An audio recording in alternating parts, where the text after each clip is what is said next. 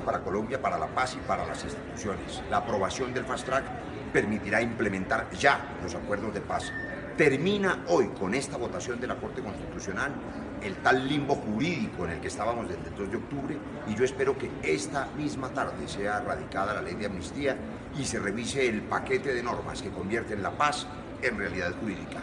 Buena noticia, es el camino correcto.